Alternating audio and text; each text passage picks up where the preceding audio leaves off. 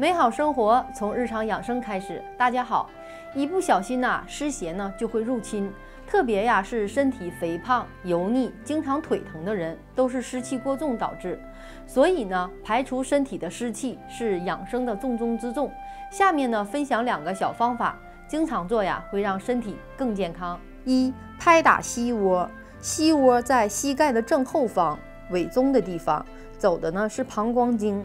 平时用空掌拍打此处呢，五到十分钟，直至呢拍出瘀点或沙点来。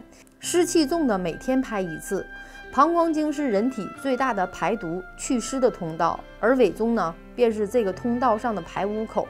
如果这里不通畅，可能会导致腰膝疼痛、关节炎症。二、拍打肘窝，肘窝上有肺经的尺泽和心包经的曲池，可以起到清宣肺气。泻火降逆、宁心散邪的功效。拍的时候手掌放松，要有节奏的拍。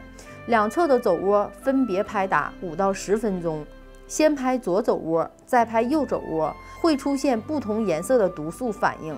颜色越深，说明体内毒素越多。